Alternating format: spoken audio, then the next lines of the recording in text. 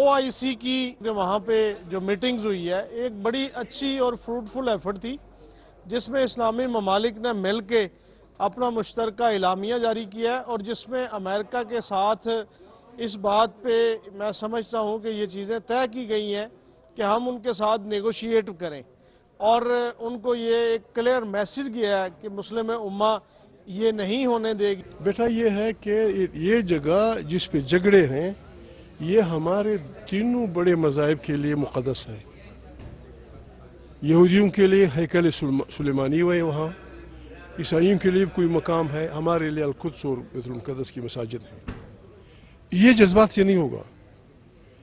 ان تینوں مذاہب کے عالم، ان تینوں مذاہب کے عالم اپنے متعلقہ اقوام کو کنونس کریں گے وہ بیٹھ کے یہ بتائیں گے کہ القدس تک فلسطین کا راستہ کہاں سے ہوگا؟ ہیکل اسلامی تک؟ یہودیوں کا راستہ کیسے ہوگا؟ ماضی بھی اگر دیکھا جائے او آئی سی کا اور او آئی سی کے فیصلوں کا تو نہ فیصلے ہوئے اور نہ ان کا کوئی کردار کہیں کہیں نظر آیا نہ عراق میں نہ ایران میں یا اس سے پہلے جتنے بھی معاملات مسلم ممالک پہ آئے یا اس خطے پہ آئے ہیں وہاں ان کا کوئی کردار نظر نہیں آیا۔ تو جس طرح یہ میٹنگ ہوئی ہے یہ بھی گفتن نشستن اور برخاستن والی بات ہوئی ہے کہ جی بات تو ہوئی ہے مگر یہ کہ اس پر کوئی فیصلہ نہیں ہوا کوئی عمل درآمد کی بات نہیں ہوئی۔ ہمارے پاس ترکی جیسی قیادت موجود ہے۔ اور تمام قیادتیں اکٹھی ہوئیں۔ یہ ایک میسج تھا۔ اقوام متحدہ میں بھی، اقوام متحدہ کی قراردادوں کے مطابق ہم اپنا حق لینے کی انشاءاللہ کوشش کریں گے۔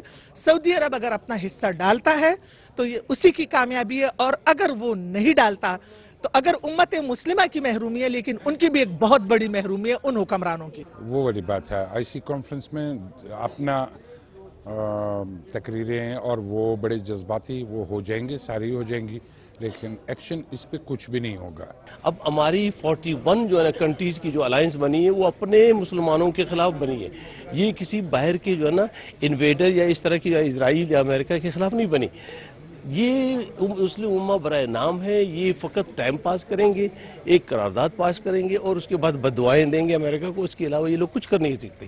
انہوں نے تو باقاعدہ طور پہ پرزور طریقے سے متفقہ اور مشترکہ طور پہ قرارداد کے ذریعے صدر امریکہ سے یہ مطالبہ کیا ہے کہ وہ اپنے اس ڈیسیجن کو واپس لیں۔ یہ باقاعدہ طور پہ پاکستان کی طرف سے ٹرکی کی طرف سے اور دوسرے ممالک کی طرف سے بھی یہ بڑا زوردار طریقے سے وہاں بیان دیا گیا۔